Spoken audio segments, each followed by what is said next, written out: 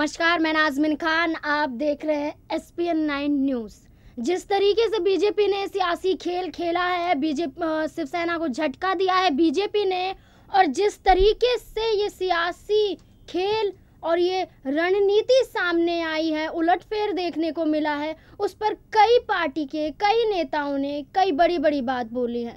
कोई बीजेपी की सपोर्ट में बोल रहा है तो कोई शिवसेना की सपोर्ट में बोल रहा है, कोई एनसीपी को धोखेबाज बोल रहा है तो कोई ये कहता हुआ नज़र आ रहा है कि शिवसेना का मज़ाक बना है।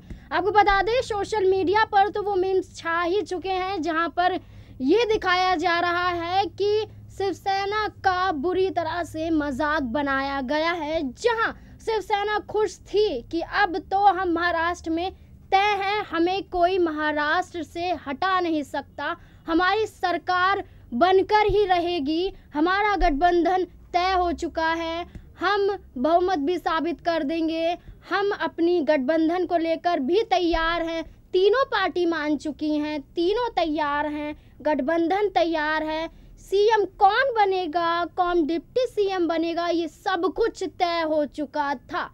लेकिन शनिवार सुबह जो खेल खेला है बीजेपी ने, जो सीएम पद की शपथ ली है देवेंद्र फडणवीस ने ये सब उन सभी पार्टियों को चौंका दिया है।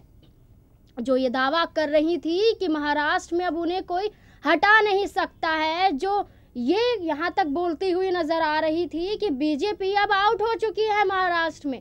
बीजेपी अब कदम भी नहीं रख सकती है महाराष्ट्र में, ना ही सरकार बना सकती है। उसी बीजेपी ने उन सभी पार्टियों को मुँह तोड़ जवाब दिया है। लेकिन हम आपको बता दें, कुछ पार्टियाँ, कुछ नेता शिवसेना की सपोर्ट में भी उतरे हैं। उन्होंने कहा कि जो आपके साथ हुआ, वो गलत हुआ है। आपको सड़क पर उतरना चाहिए। उसी में से एक कांग्रेस के वरिष्ठ नेता है दिग्विजय सिंह। उन्होंने भी शिवसेना का साथ दिया है और कहा है कि तीनों पार्टियों के साथ धोखा हुआ है। वो ये कहते हुए नज़र आ रहे हैं, शिवसेना, एनसीपी, कांग्रेस के साथ धोखा हुआ है और ये संविधान का सबसे बड़ा मज़ाक बनाया जा रहा है। बीजेपी संविधान का मज़ाक बना रही है। दिग्विजय सिंह ऐसा कहते हुए नज़र आ रहे हैं। वो यहाँ ये भी कहते हैं, अगर आप तीनों पार्टियों के साथ धोखा हुआ है तो आप सड़क पर उतर जाइए और अपने अस्तित्व के लिए अपने हक की लड़ाई लड़िए। वो कहते हुए नज़र आ रहे हैं कि अगर शिवसेना उद्धव ठाकरे सड़क पर उतर कर अपने हक की लड़ाई लड़ते हैं, वो अपने अस्तित्व को रखने के लिए बात बोलते हैं तो कांग्रेस उनका भरपूर साथ देगी, दिग्विजय सिंह ये कहते हुए नज़र आ रहे हैं। वहीं दिग्विजय सिंह ने यह भी बोला है कि एनसीपी के सिर्फ़ अजीत पवार ही बीजेपी के साथ हाथ मिलाया है पूरी तरह से बहुमत नहीं मिला है और ना ही